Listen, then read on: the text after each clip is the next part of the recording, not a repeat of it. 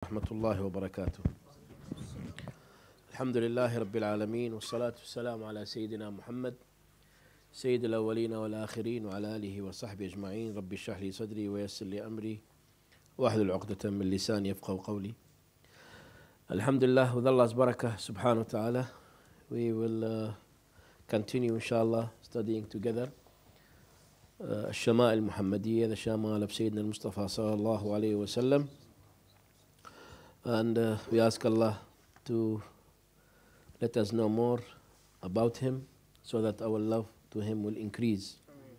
And whenever we want to do anything to follow his commands his uh, advices to be obedient so that we can get the best of dunya and akhirah. And more importantly beside his khuluq beside his uh, khulq beside his khalq beside his his shape, how he looks like, we need his akhlaq, khuluq, his moral character, sallallahu alaihi wasallam, because he will be happy with that, sallallahu alaihi wasallam. As he's happy when we follow him in how we dress, how we looks like, how we pray, he will be more happy with our moral characters, inshallah. And today, tonight, uh, topic will be uh, the messenger of Allah's hair the hair of Sayyidina Rasulullah sallallahu alayhi wasallam.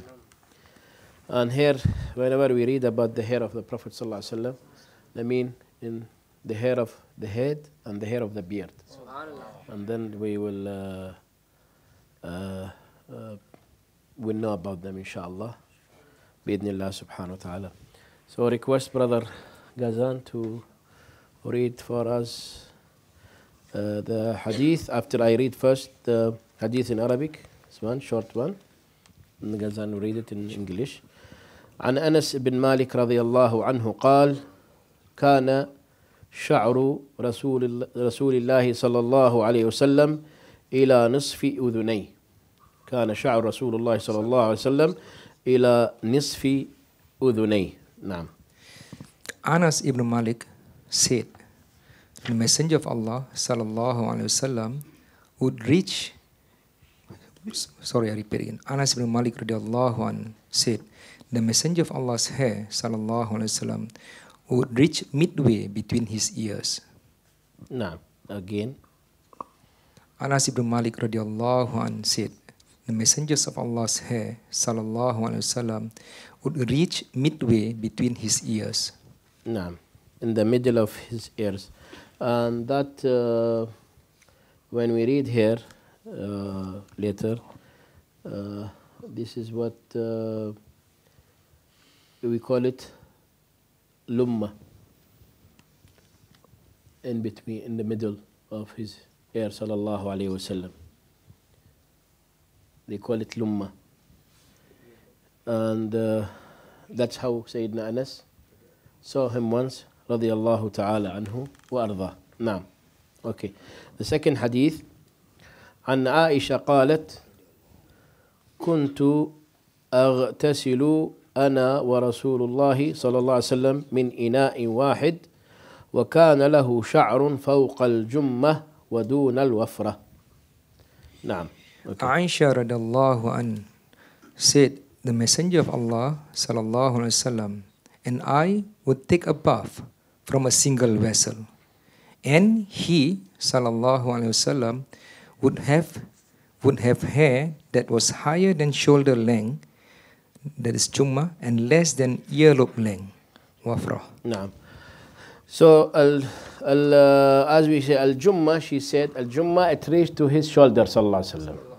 They have seen him. She have seen him, and she have experienced, and the Sahaba as well, and sometime up to middle of his ear but mainly used to be in between. In between. They call Lumma. Naam. Okay? So Sayyidina Aisha, she, once she said she was uh, bathing with him, sallallahu. But you know, how, of course, they were, he wear sarong like sallallahu alaihi wasallam, probably dress, and, and that shows that he's human. How we going to know about his private life and take it as uh, lessons and advices for us in our life? Without the wives of him wasallam mention about that. And you can see Sayyidina Aisha said, Sayyidina Khadija said, Sayyidina Umm Salama, Safiya. Many of them mention uh, about the hadith about that. You know. And Sayyidina Aisha, like she was, she was here how when even bathing, but she was looking to him wasallam, the how she was very like uh, the love in her heart towards him sallallahu alaihi wasallam. And you don't want to use any moment without saying something great about him sallallahu alaihi wasallam in his khalq alayhi salatu wassalam. Naam. Uh, the third hadith here أم عن أمي so- sorry عن أم هانئ بنت أبي طالب أم هانئ سيدنا علي's رضي الله عنه sister أم هانئ قالت قدم رسول الله صلى الله عليه وسلم مكة قدمة وله أربع غدائر okay. Ummu Hani binti Abi Talib radiallahu anha said, The Messenger of Allah sallallahu alaihi wasallam once arrived in Mecca and he had four breads. again read it please Ummu Hani binti Abi Talib radiallahu anha said, The Messenger of Allah sallallahu alaihi wasallam once arrived in Mecca and he had four breads. He arri- the Umm Hani is Sayyidina Ali's sister, and she became a Muslim in Fatih Mecca when Sayyidina Rasulullah took Mecca. sallallahu alaihi wasallam. So she was at towards the end. Although during Sayyidina Rasulullah's life with uh, them, they were very yeah, close to him. sallallahu alaihi wasallam. And, and Umm Hani said, when he came, I mean that day. Okay. And he stayed, sallallahu in her house because he doesn't have house in Mecca anymore. Because he was living in Medina. So when he came Mecca, he stayed at her house, Umm anha, for 18 days. That he spent 18 days in Mecca, sallallahu before he go back to Medina. And she said he had, what do you call it? Uh, arba, huh? Four breads. Why? Because his hair was long and it was a war, traveling. So it's easy for, you know, those days they make it easy to make it in, to make it uh, a bit shorter, smaller, let's say, easy. So he made the bread, sallallahu alayhi wasallam. And she saw him like that once in, in, in, during Fatih Mecca, sallallahu alayhi wasallam, from under the imama. That shows the hair was a bit longer. Naam. Mhm. Okay. Uh, the other hadith now, we want to make it a bit faster because few hadiths. And Ibn Abbas, now Sayyidina Abdullah ibn Abbas. See now, they mention him, uh, Anas, Sahabi, Aisha, wife of Sayyidina Rasulullah, Umm Hani, his cousin, and Ibn Abbas, Sahabi, and his, uh, his cousin as well. And that's his auntie, Maymuna anha, Rasulullah's wife. So he has uh, also a closeness to Sayyidina Mustafa sallallahu alaihi wasallam. And as we mentioned before, those people, they are the one who can, they have got the barakah of the blessed moment to be with him sallallahu alaihi wasallam in, in a situation, in a house, in the house or something that others cannot have the same. So without losing the opportunity, they have something to say about these moments, alhamdulillah. So Sayyidina ibn Abbas, Abdullah ibn Abbas radiallahu anhuma, قال إن رسول الله صلى الله عليه وسلم كان يسدل شعره وكان المشركون يفرقون رؤوسهم. وكان أهل الكتاب يسدلون رؤوسهم. وكان يحب موافقة أهل الكتاب فيما لم يؤمر فيه بشيء. ثم فرق رسول الله صلى الله عليه وسلم رأسه. نعم.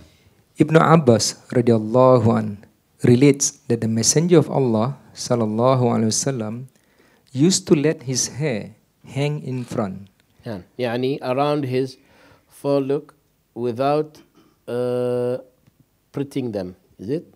Parting them sorry. Parting them. parting them without parting them. يعني what that mean when he comb the hair all together? There will be nothing in between nothing from here nothing in no no uh, line. All together. Sallallahu alaihi wasallam and he will comb it like that. Uh, yeah read it uh, so we will know yeah?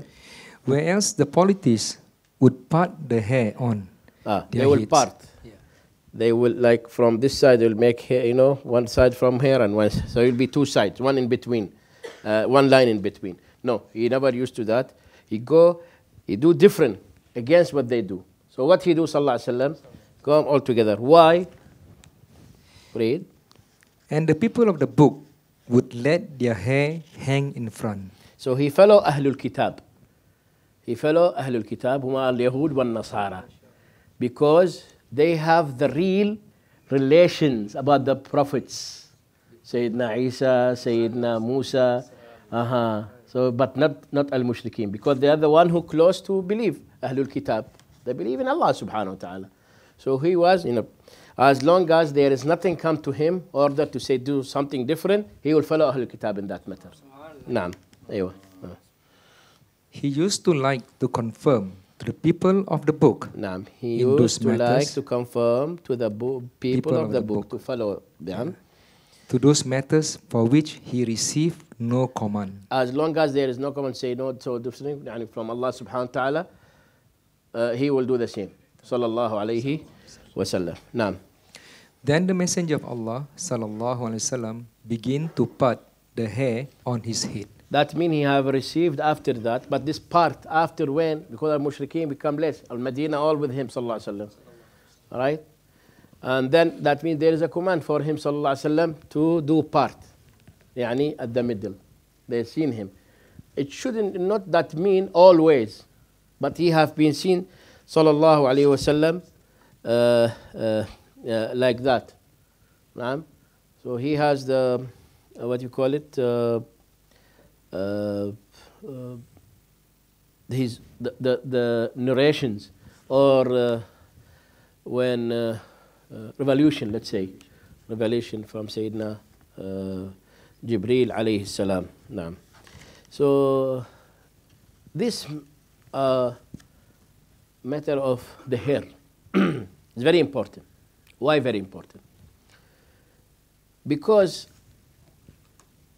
it's beside the description of him wasallam and knowing about him and all the narrations of sahaba anhum. We have to mention also about other narrations which was in sahih bukhari and muslim about this matter. Very important to know about it. Huh?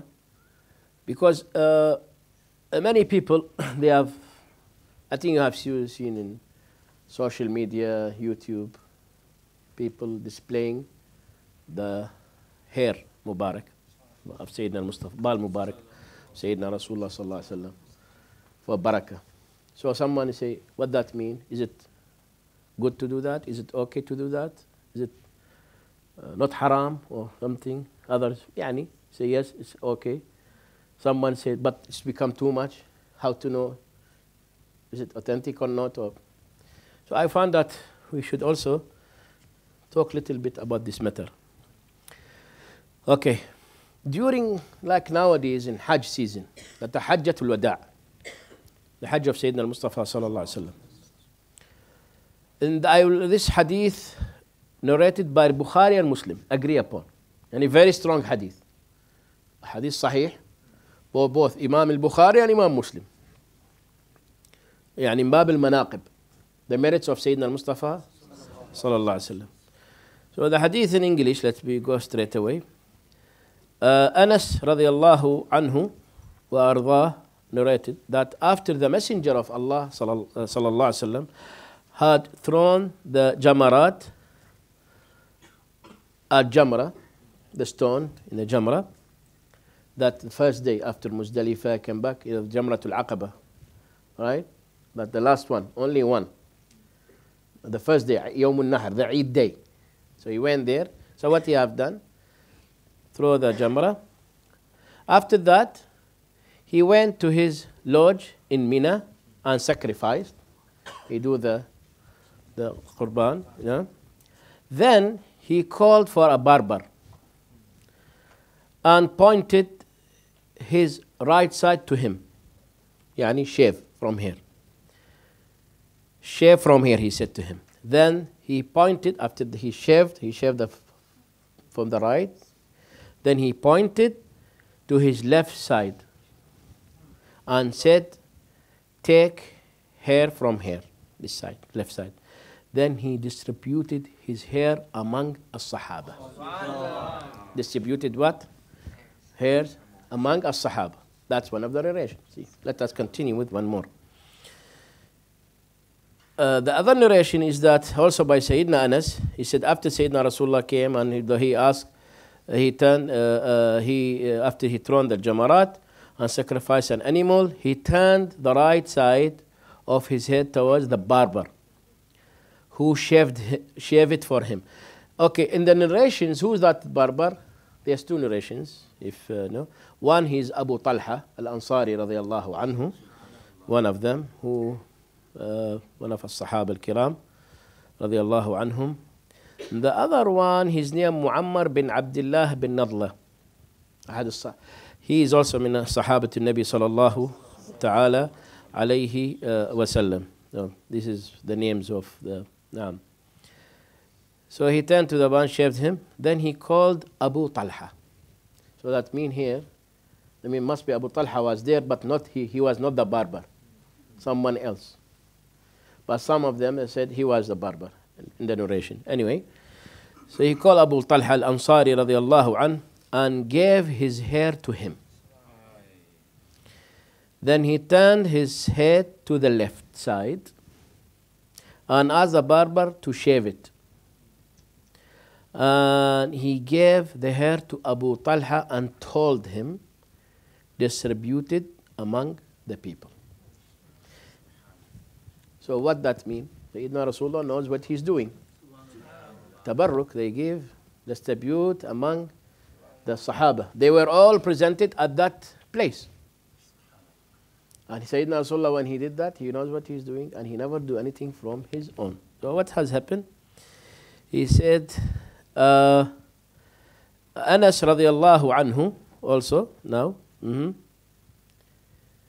in Sahih Imam Muslim in Sahih Muslim the book of virtues the book of virtues chapter his closeness to the people يعني الصحابة they are seeking blessings from him and his humility towards them صلى الله عليه وسلم تبركهم به So, uh, the translation here is not very you know he say باب قرب النبي عليه الصلاة من النا وتبركهم به and they're seeking the blessing from him sallallahu alaihi wasallam tabarrukuhum bihi. Tabarruk. Okay. So Sayyidina Anas said when shaved what happened? He said I saw when Rasulullah sallallahu alaihi wasallam got his hair cut by the barber his companions came round around him and they eagerly wanted that eagerly wanted that so no, no hair should fall but in the hand of a person. Each of them got between two to three hairs from his blessed hair, sallallahu alaihi wasallam. Each minas, yani, so the queue, all of them, that's the blessed one, he got the opportunity, he got. So Sayyidina Abu Talha was distributing them. The, uh-huh. mm. Al-ulama, what they said about this, they said, number one, this hadith, very authentic hadith, Imam Bukhari, Muslim. Number two, and the distribution of the hair, not by their request, it's he himself did that no one say give us from your hair no before anyone asked he gave that last. So no one can say anything. And then that's here what they're going to do with it? He's not going to eat or drink. So what they do with that? They will keep it with them. And among them many uh, so among them for example the there is uh, the hair have reached to Sayyidina Umar bin Abdul Aziz radiyallahu an example Sayyidina Umar bin Abdul Aziz uh, and he got he was he got blessed hair of Sayyidina al-Mustafa Imam Ibn Hajar Ibn Hajar mentioned that he said that he got the hair of Sayyidina and the nails as well and he instructed his people to that hair and the nails to be buried with him in his grave Sayyidina Umar bin Abdul Aziz radiyallahu anhu he's not a simple man you know and رواية الإمام البخاري in رواية الإمام البخاري عن ابن سيرين ابن سيرين he was من التابعين he and Hassan al-Basri التابعين the followers of Sahaba and he have got he was close to someone أحد رواة الحديث the narrators of the hadith his name uh, عبيدة مو عبيدة عبيدة so he said I said, said to him to عبيدة عبيدة he was a, he became a Muslim عام الفتح But he didn't get sahaba of Rasulullah. Same year, but, but therefore he have seen many Sahaba and he have get to know the ilm and you know akhbar Nabi Sallallahu from many Sahaba. So Ibn Sirin he was saying, saying to him uh, to, uh, that we have, Ya Abida, we have got, we have a hair, blessed hair of Sayyidina Rasulullah sallallahu ta'ala. We got it from Anas, or in the nation said, from Anas family siblings. So Abida said to him, Wallahi, when he heard that, if I got one of them, one of the hair, it's better than dunya and what is in dunya for me. Someone who follow Sahaba and he was among Tabi'een and he say like that. And he got the knowledge. Because beside that, he said, that means he have got information, knowledge about Sayyidina al-Mustafa and the meaning of Tabarruk. So he knows what he's saying. So when we talk about that, no need some anyone to teach us what to say and what to do. Huh? Naam. Okay. Then Sayyidina al-Mustafa, he sallallahu alaihi wasallam, he's the one who gave the hair to them. They're not the one who asked. Are they the one who said, Ya Rasulullah, give us or he gave? طيب and Sayyidina Rasulullah sallallahu alaihi wasallam he was against any cultures of uh, wathaniya again any uh, those those days يعني shirk or something and he knows what that means sallallahu alaihi wasallam he's the one Allah said him with tawheed uh-huh. So no one can say this is shirk or something. He done by himself, sallallahu alaihi wasallam. So anyone have any word to say, please keep your mouth, you know, closed. Don't say anything because Sayyidina Rasulullah knows what that means and the Sahaba knows what that means. Alhamdulillah. طيب. Uh, and also, this is the deen. This is what? The deen, our deen, we know. So we take our deen from him, sallallahu alaihi wasallam. He won't open a way a shay- to a shaitan to enter. He just throw a jamarat against shaitan. So, he knows what he's doing, sallallahu alaihi wasallam. And we have to have the adab of Sahaba how to deal with this. Among them, they keep it with the Sayyidina uh, Khalid bin Walid. He used to have it in his helmet. In his helmet. Once in the war, he lost the helmet. He go again, and he was dangerous, you know. So he got the helmet. They say, "What? Why? What? Why? What for? You got this?" So he opened, and he got. He said, "Because of this, the hair of Sayyidina Rasulullah." And in the narration that Sayyidina Imam Ahmad bin Hanbal radiyallahu an, whenever he have any issues that Allah want in in, in fiqh or masala, and he want to give the right fatwa, he will put his uh, right hand on his left side and do like that. So his student may notice that few times. Then he asked him, what this here? So he took small piece, something, cloth, open it, and they saw the hair. Ah, this is from Rasulullah's hair. Whenever I do that, Allah open my heart for me. No, no, that's not all. We're going to see many of these things now. Naam, yeah, okay. Uh, okay. In uh, al-Imam al-Bukhari, is another narration by whose? By whom? Al-Bukhari. Ah. Uh, the riwayah said that uh, uh, Uthman bin Abdullah bin Mawhab said, My people, my, his family, send me with a bowl of water to Umm Salama. Umm Salama, who's Umm Salama? Umm al-Mu'mineen. Rasulullah's wife, Umm al-Mu'mineen, the mother of believers. The one who narrated the, the hadith, his name Israel. Someone, his name Israel, Ahadul Tabi'een. So, Israel, he pointed with his three fingers, like this. What that mean? When he was talking, which there was some, he said, indicated the small side of the container in which there was, in that what, the, some hairs of Sayyidina Rasulullah sallallahu alayhi wasallam.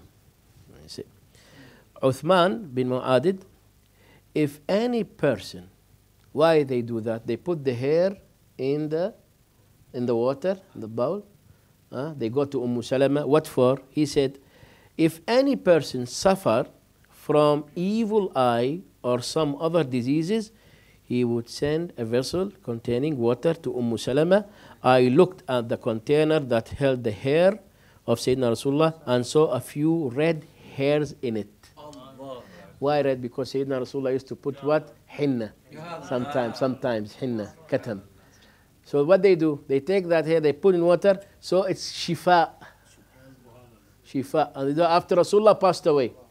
So during his time, because during his time, but after his, and who's doing that? Sahaba and Umm Salama radiallahu anha. So anyone who's sick, she has the hair of Sayyidina al-Mustafa. They send the water, put for, you know, and they drink for it. Say anyone has evil eye, hasad, jealous, someone from him, you know what, will, will get cured immediately. Subhanallah.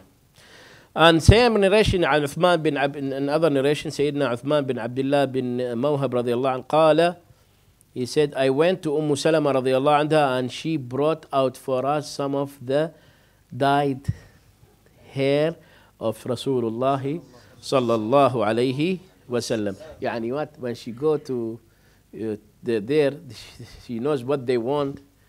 Huh? And they are also in their heart, they want to see something. So with their, she present to them the best thing they can see. Radiallahu ta'ala, which is the hair of Sayyidina Mustafa sallallahu alayhi wasallam. In this narration he said which was dyed with hinna and katam. Katam is something like uh, similar like henna is a color I mean henna that katam what what mean katam is to mute the color of uh, like for example those whom they put they dye hair with the gray hair they put black or something to what to to darken it to mute it to, to, to the, the for the, the white hair to go. So the henna will overcome the white hair but there's a sunnah sayyidina rasulullah sallallahu alaihi wasallam he used to do it sometime in, uh, uh, in, in, in certain places as you see here Mhm. and قال الإمام ابن حجر رضي الله عنه Imam ibn Hajar said the meaning here whoever sick there is always a pharmacy for example where Umm Salama رضي الله عنها and she took that hair and clean it, you know put it in the water and she give it back to them they will drink it or they will bathe with it mhm. فتحصل له بركتها then they will get its blessings barakatuha and that's the narration also of Imam al-Nawawi that Sayyidina Umar ibn Abdul Aziz he said if I die put the hair in my kafan radiyallahu ta'ala anhu in fact there there are people made poems describing the hair of Sayyidina al-Mustafa sallam, among Sahaba and Naam. And they say how many hairs here, how many. This is all something very interesting for all of us to, يعني about Sayyidina al-Mustafa sallallahu alaihi wasallam and tabarruk al-Sahaba. There are other barakat we will do later on about his clothes sallallahu alaihi wasallam, his hands sallallahu alaihi wasallam when he touched someone. So these are all the barakah of Sayyidina al-Mustafa sallallahu alaihi wasallam which for all of us to understand. Allah, he is a great barakah. no, great barakah. But only one thing. Because it's something extraordinary to see the hair of Rasulullah. Uh, in fact, though during Ottoman's time, uh, empire, they were very concerned about anything belongs to Rasulullah. They will buy it. They will buy they how much you know, they, especially from those whom they are really trusted to have something belongs to Rasulullah. sallallahu alaihi wasallam. Uh-huh. So they got all the because it was like 600 years ago and they conquered other places where the people used to look after that very well and they kept it with them like from mecca and medina and egypt iraq these places where you know where the Sa- kufa where the sahaba is there in, in mecca and medina they said look better to keep uh, with us so others can see others can see so they get the barakah Therefore, there is always something called farman. There is a certificate, big certificate. This is got from where and who, certificate with chop and signature.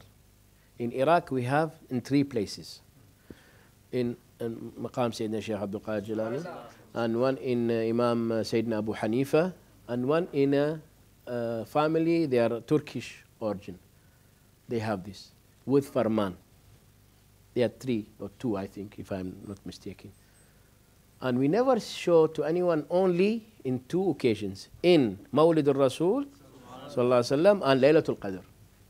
Not anyone come, please, I want to see. No, cannot. There's a place we put. Because something big, great. If like that. So, how attempting this issue? Because you see in, in, in, in, in, uh, in, in TV, in, in, in uh, YouTube, something, you know, and people, they're very confused about this. I see if something, this one, something which for us, you see what he said here, At-Tabi'in said, it's for me better than, if I got one, is, you know, is better than dunya and what is in dunya. Uh, for the barakah of Sayyidina Mustafa Sallallahu So it's not something easy, like it's something very great. No, you cannot, you have, if you have a, a very good diamond example, not anyone you open the safe and every day you come, I go, okay, come, I open it. No, you want, nobody, no, in fact, it cannot be happen like that. Because it's, we have to know the adab with Rasulullah Sallallahu. Can I see, can I see, can I see? No, cannot. It's not. Plus, how authentic?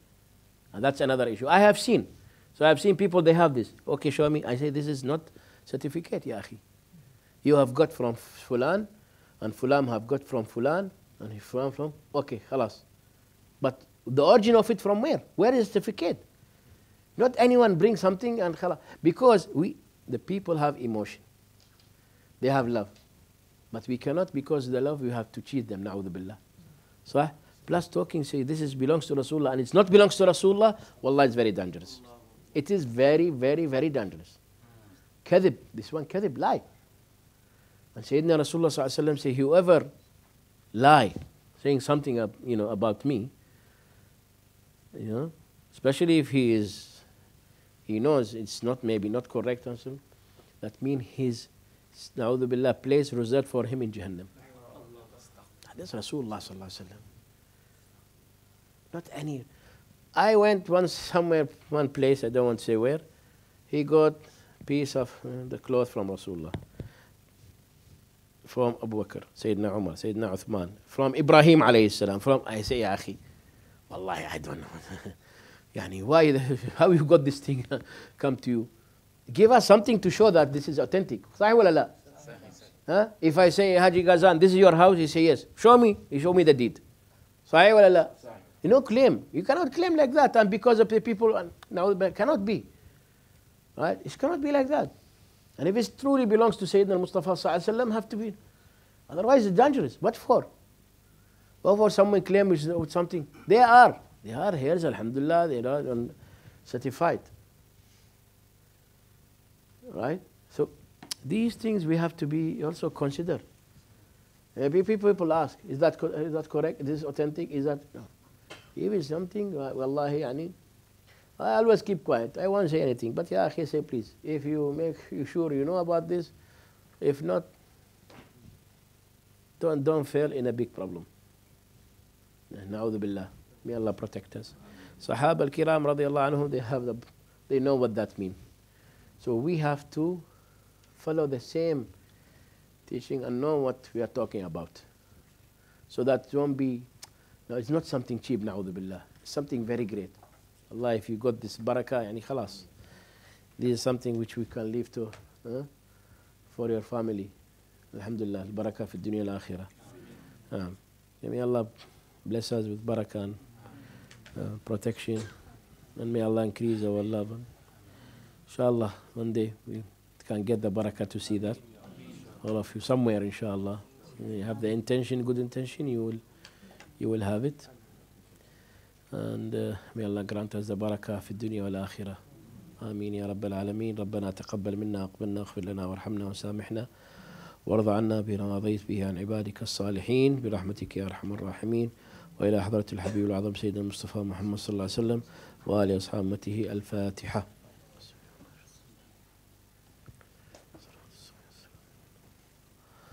صلى الله عليه وسلم الحمد لله قبل الله منا منكم